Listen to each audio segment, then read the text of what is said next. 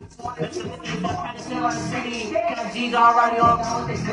My son John just came off of work. My son John just came off of work, yeah. Straight off of work.